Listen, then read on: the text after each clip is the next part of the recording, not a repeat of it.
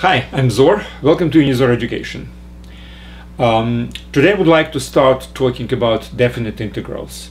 We have just completed, at least theoretically completed, um, the part of the course uh, which is related to um, indefinite integrals.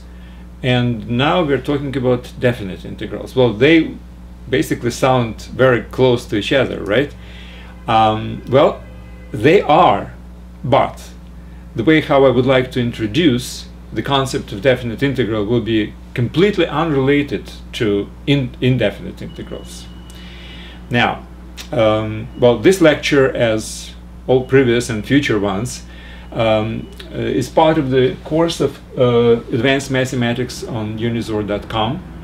Um, I do suggest you to watch this lecture from this website rather than from YouTube or anywhere else because the site itself has very detailed explanation, like a textbook basically for each lecture. Um, and in addition, if you are a registered student, then you can take exams, for instance, just for your own satisfaction. The site is free, so no financial strings attached. So unizor.com, that's where, where I recommend you to watch this lecture. Now, I will not talk about definite integrals today, but I will introduce you to a problem solution of which will lead us eventually uh, to a concept of uh, definite integral. So, what is the problem? The problem is very simple. Let's consider you have a function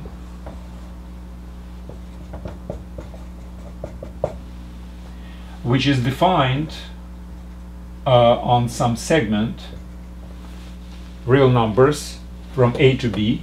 It's defined on a segment including both ends and let's assume that the function is smooth enough, which means it's continuous and it has the first derivative which is continuous, maybe the second derivative.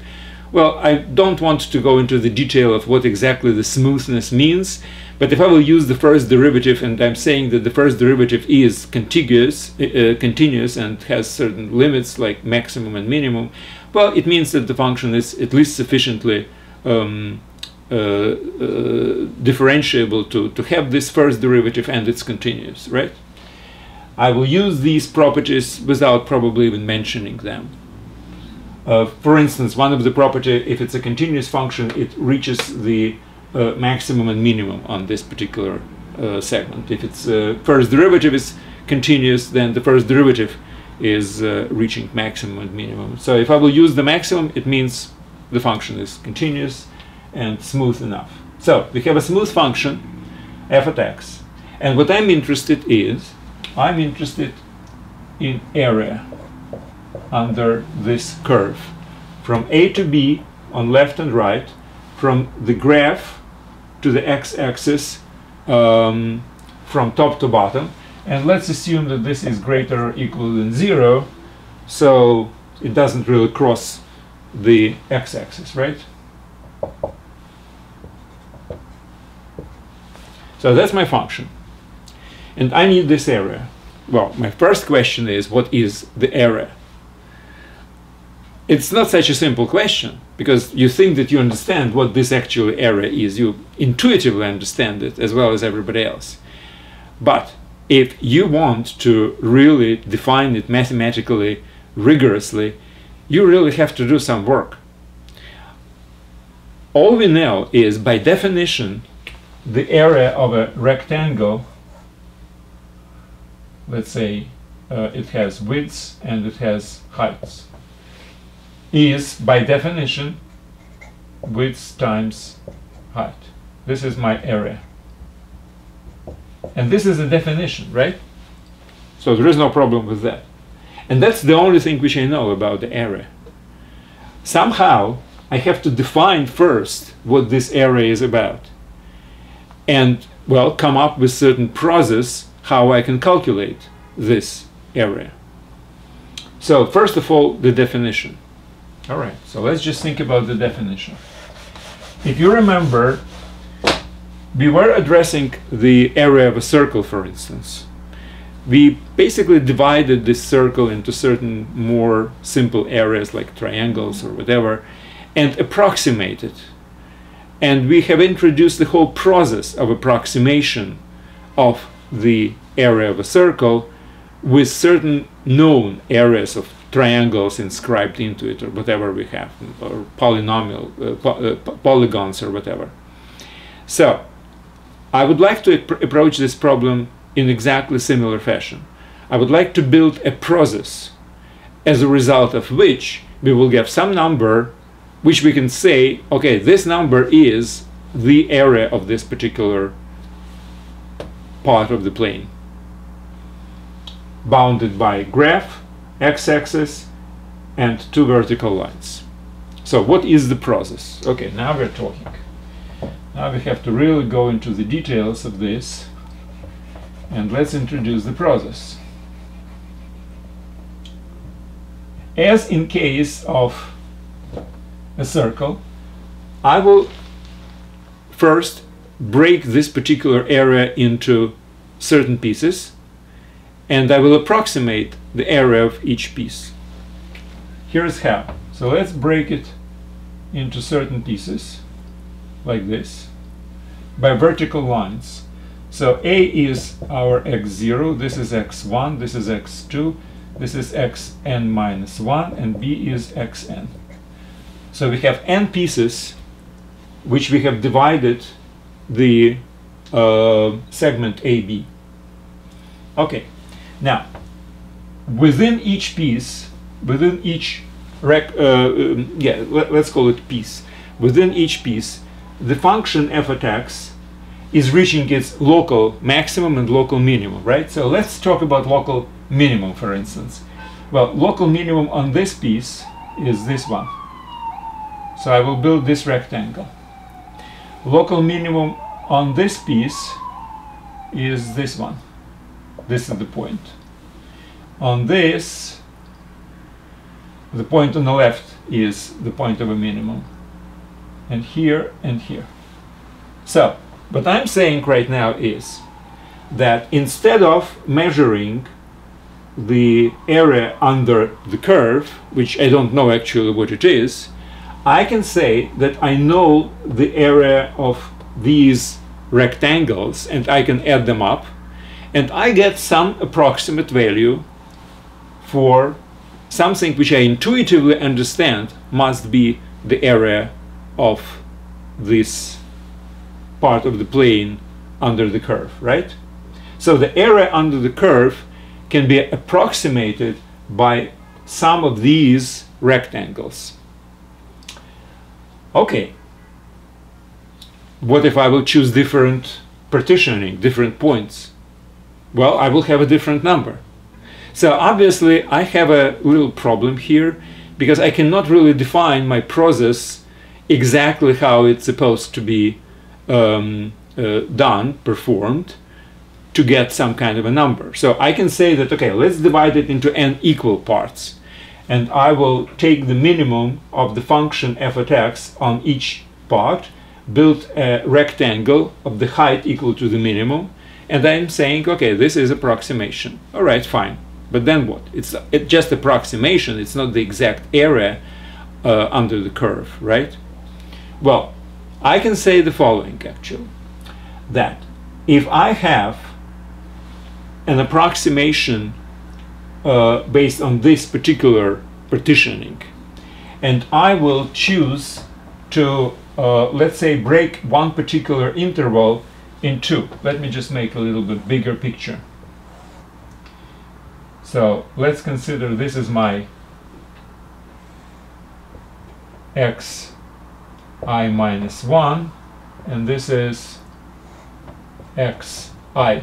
Just one interval. I have blown it up. All right. Now the minimum of this function looks like it's in this particular.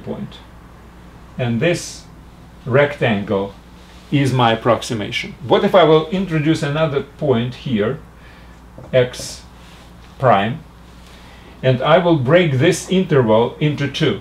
So I will build this, and I will have to have minimum on this rectangle and minimum on this. Now, obviously, if my initial minimum belongs to this piece uh, from x minus 1 to x prime, then this particular part will be the same But in this case, minimum would be different, would be this. So, obviously minimum on this part will be greater than the minimum on this part if my initial minimum for the whole interval is here, right? Which means that sum of these two rectangles, this one and this one, is greater than my initial rectangle. Which means that if I will make a finer partitioning, if I will introduce additional points into existing partitioning, then some of my rectangles will increase because the minimum on the new one would be one of these new ones will be greater than the minimum for the whole interval which was used before. So I have two rectangles, one of them will be of the same height as before, and one of them will be higher, because I'm always choosing the minimum. So minimum on this is obviously less than minimum on this. So, as I am introducing new points into my partitioning, this particular area of the sum, or sum of the areas of rectangles is increasing. That's a very important point. Now, now let's approach it differently. Instead of choosing the minimum, I will choose the maximum. What happens? Well, in this case, maximum is here. In this case, maximum is here.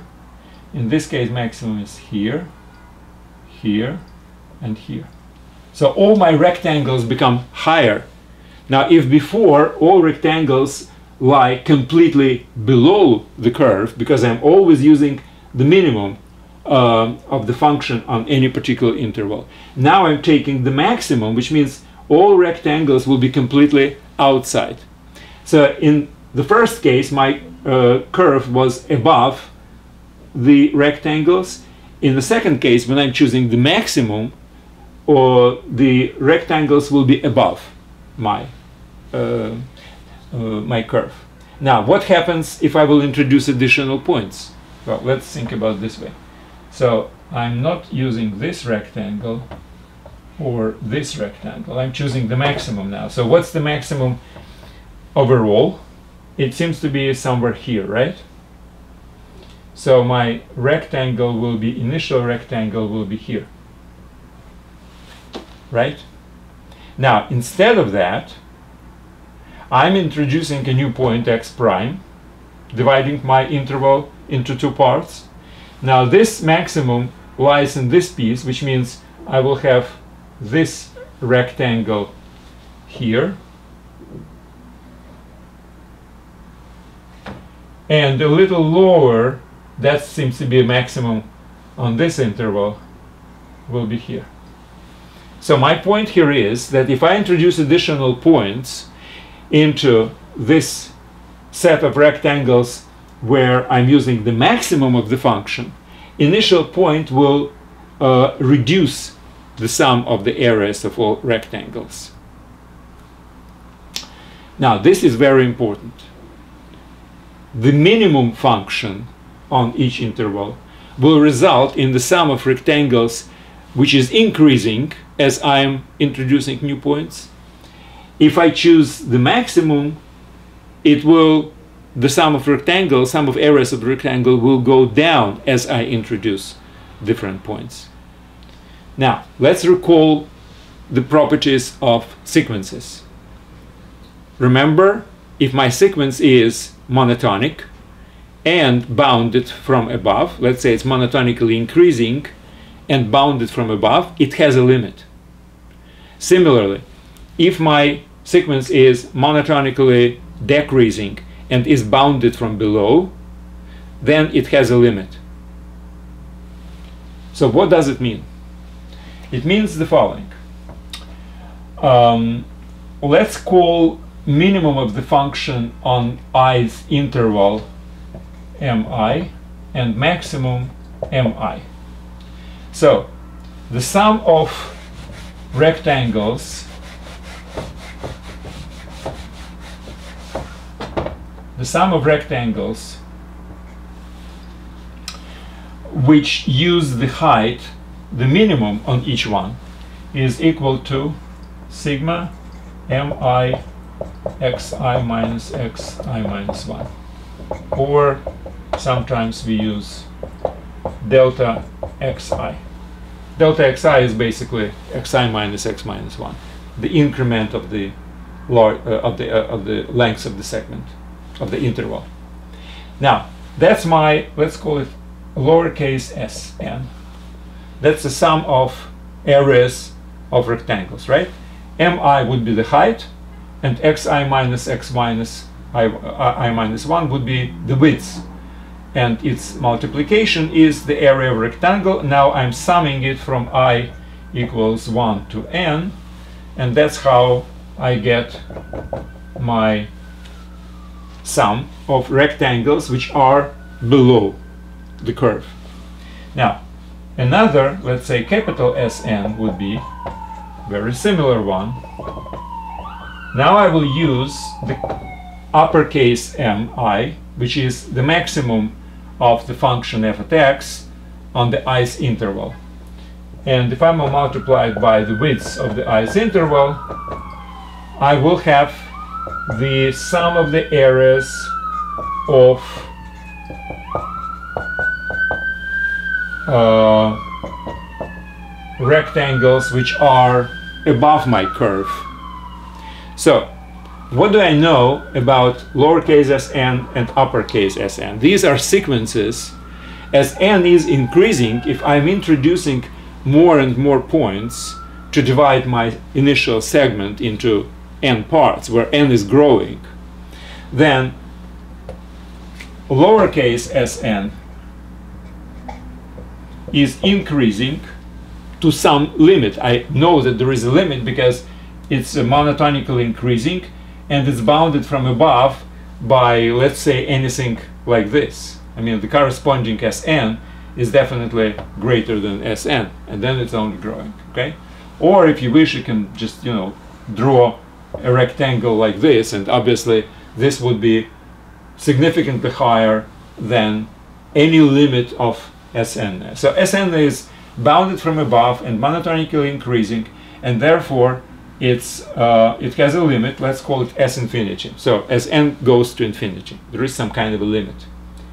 Now what's important is here that whenever I'm introducing new points I'm actually making smaller each particular interval. So let's agree that whenever I'm introducing new points I'm always introducing it in such a way that the largest interval goes down to zero the width of the largest interval. That's very important because you know I can actually divide the segment into n parts and then introduce uh, all my additional division points somewhere between this and this, leaving this alone.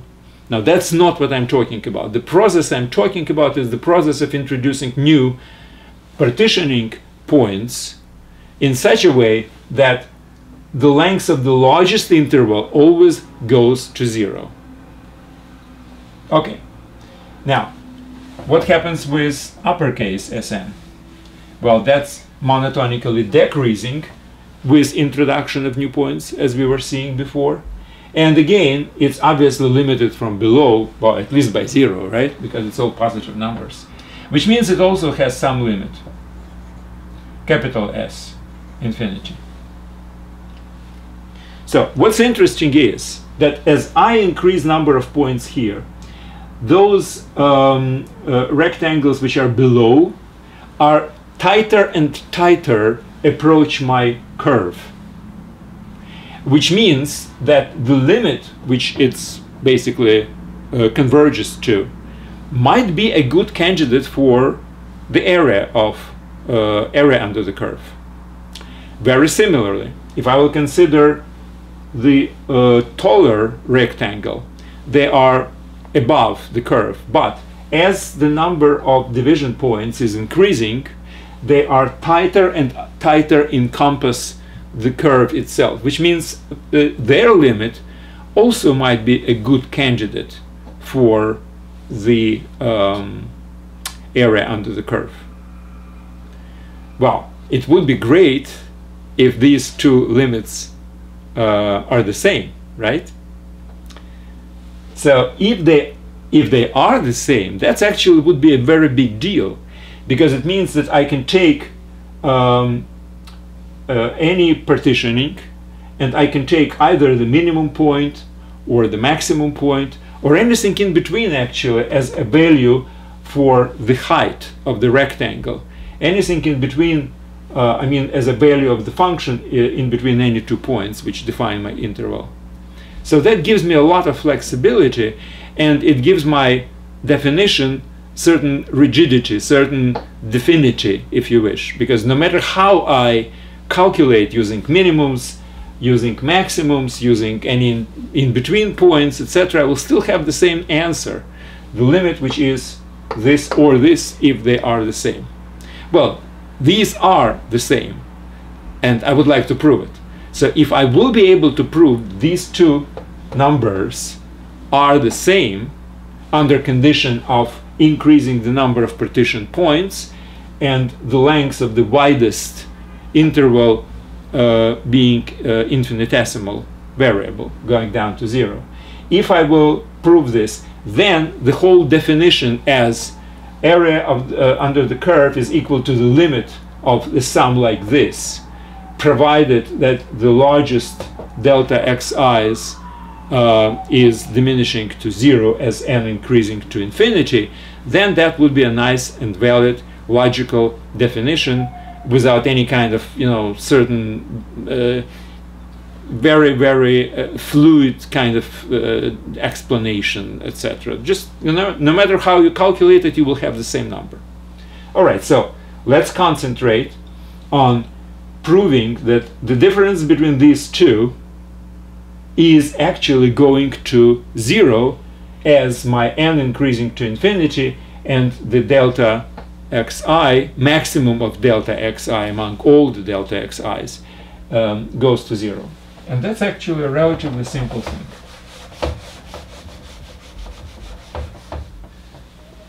Here is what I will remind you.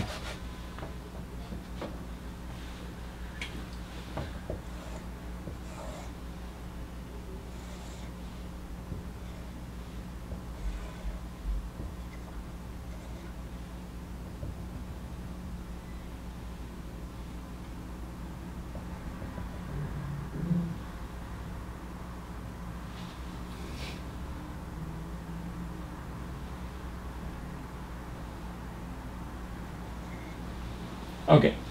I would like to remind you the Lagrange theorem from the derivative.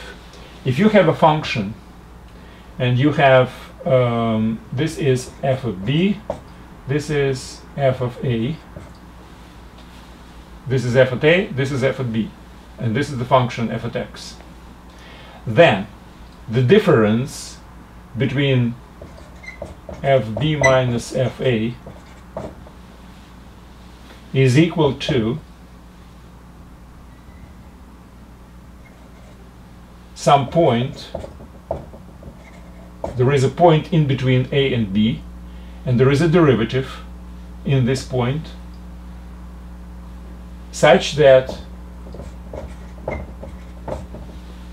difference between between this and this which is actually the length of this is equal to b minus a times basically tangent of this angle. So if this is the chord uh, and this uh, um, tangential line is parallel to the chord, then these angles are the same, right?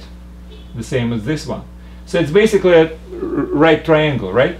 This catetus is equal to this catetus times tangent of this angle, right? And tangent of this angle is the same as tangent of this line with an x, which is a derivative. Remember, derivative is a tangent of uh, of this particular angle. So I will use this particular theorem. Now, why? Now let's do this. Capital Sn minus lowercase sn is equal to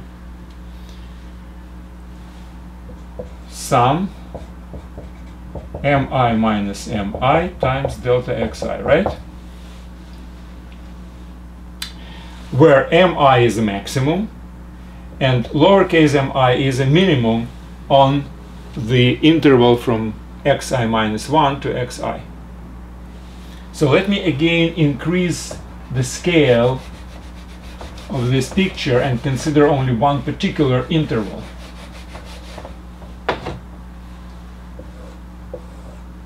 So this is my function. This is my xi minus 1, this is my xi. This is the point of a maximum. Let's call it xi. This is the point of my minimum. So that's the same as, let's call it eta i. So xi is the point of a maximum and eta i is the point of a minimum of the function f at x on the i's interval.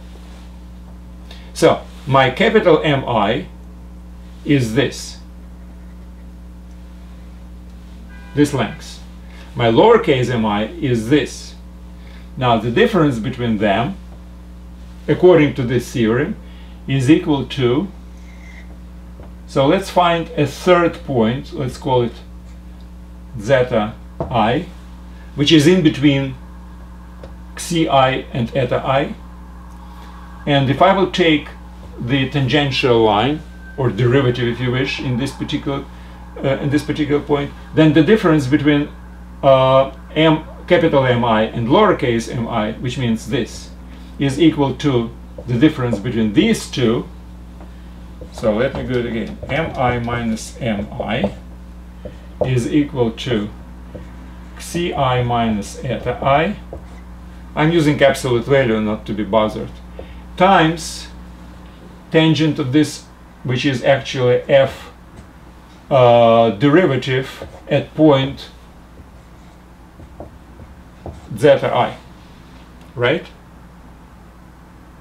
Which is less than or equal to. Now, instead of this, now both xi and eta i are inside this interval. So they are definitely less than delta xi, right? Difference between them less than the difference between the edges of this interval.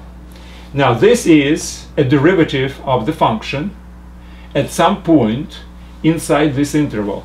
Now I have assumed that the function is smooth enough, which means it's differentiable and the different and, and, its derivative is uh, continuous and if derivative is continuous on any particular segment then it reaches its maximum and the minimum so let's say there is some no, some number some constant which is the maximum of the derivative of the absolute value of I have to put absolute value here so um, times k, where k is a constant, which is a maximum of derivative of the function f of x on the whole uh, segment from a to b. Again, if the function is smooth, it's continuous, and its derivative is continuous, which means derivative is reaching its maximum and minimum, so there is a maximum. I just consider that the maximum is a constant, it's some kind of a constant k. So all I have to do is basically this. Right? Now, I have also said that my process of increasing the number of points is such that the maximum interval is shortening and shortening down to the zero in, in, in, in the limit, converges to zero. The width of the largest interval is infinitesimal. So let's consider there is something which we call a largest interval in any partitioning of uh, our uh, segment AB. Well, obviously, it depends on the on the number n. So on each step, when I'm introducing new points, there is some interval which is the largest. Right. So therefore, any interval would be less than the largest interval. Uh, let's call it, uh, let's say, delta n times k. So delta n is a variable now, it's not a constant. It's a variable and it's changing with increasing n. Delta n is actually the largest width um, among all the interval on the nth step of my partitioning of my segment. Okay, that's all I need. Now, considering this, I can say that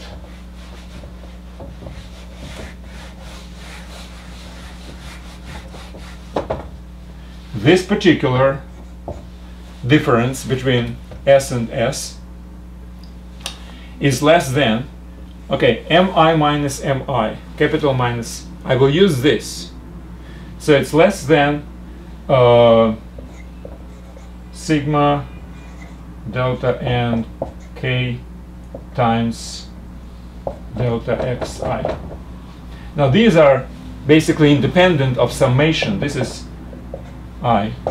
So I can bring them outside of the sigma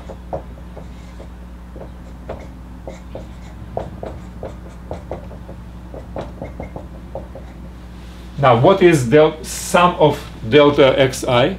Well, that's x first minus x0 plus x2 minus x1 uh, plus x3 minus x2, etc., which means it's basically sum of all these intervals together, which is the whole length of my segment AB, right? So it's k times delta n times b minus a.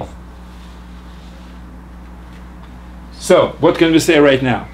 if my uh, widest interval is getting shorter and shorter, it shrinks as I'm increasing the number of partitioning, number of uh, partitioning points here, then this is infinitesimal, so the whole thing is infinitesimal, this is the constant, this is the constant, which means the whole thing is going to zero. So this difference between these two converges to zero. Well, which means that whatever the limit of one of them is exactly the same as the limit of another one. They are getting together. Lowercase sn is increasing, uppercase sn is decreasing, and the difference between them is infinitesimal, which means that the limit is supposed to be the same. If limit is different, obviously the difference would be not uh, infinitesimal. And this is the end basically of the whole theory behind area under the curve because now I can say that to get the length uh, to get the area under the curve I have to split the segment where I would like to determine the, the area of into uh, n parts calculate the sum of the area of rectangles where the height of the rectangle can be either the minimum or the maximum or the left boundary or the right boundary on each interval. So I can actually have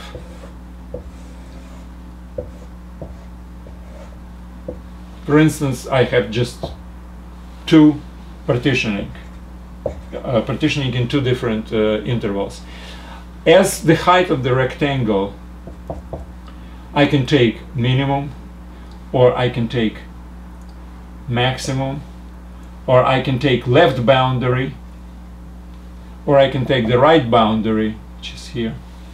But the result of summation as the number of intervals is increasing and the width of the widest interval goes to zero then the result the limit will be exactly the same. And that limit limit uh, uh, of whatever the number we are calculating as sum of the area of rectangles whatever the limit is we will call by definition the area under the curve.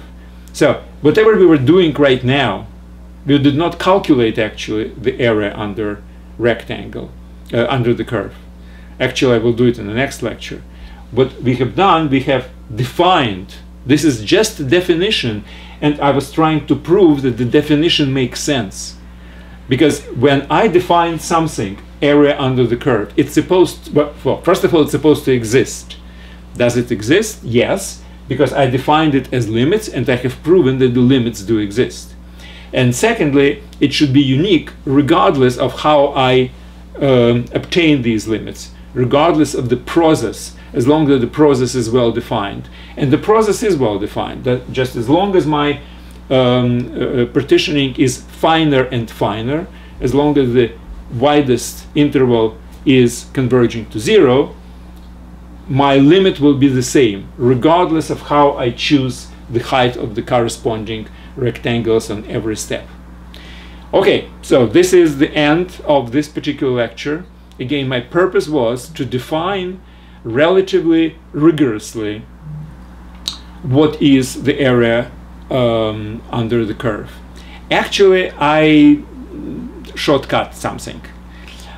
You see, I have defined this uh, and, and have uh, proven that it makes sense for smooth functions. Basically, in certain cases, um, uh, the theorem can be proven actually with much weaker um, conditions. For instance, if I will choose my uh, curve like this, between this and this, AB. I mean, obviously you understand that it does make sense to talk about the area. Now, what's my problem? The function is not differentiable at this particular point. So there is a derivative on the left, there is a derivative on the right of that point, and at that particular point, derivative does not exist. Function is not differentiable, which means for this type of function, my proof actually is not good. However, I have to, um, in, in my defense, I have to tell that the proof, for instance, for uh, continuous functions without regarding to their differentiability, for instance, is a little bit more difficult. And my purpose was not really to uh, absolutely rigorously, in the most general case, uh, define what the area is. My purpose was to explain you that the area can be obtained as the uh, result of the process, as a limit value of certain um, steps which you are uh, executing. Um, and uh, the fact that I have proven this for a little bit narrower set of functions, so this function is not really part of this set. Um, again, it's more illustrational than for the real purpose. Purpose of this lecture is to for you to understand how to define the uh, proper definition, how to, to make up the proper definition of the area under the curve. And how I proved this, this is a good and valid definition is just, quite, quite, quite frankly, is beside the point. All right, so I think what I will do in the next lecture, I will try to use this particular definition uh, in a couple of cases and to demonstrate how we can calculate the area under the curve using this particular definition, which means having certain process uh, which results in some limit which we will take and we will get some some result. Okay, that's it for today. I do recommend you to read all the notes for this lecture on unizor.com. Um, that's it. Thanks and good luck.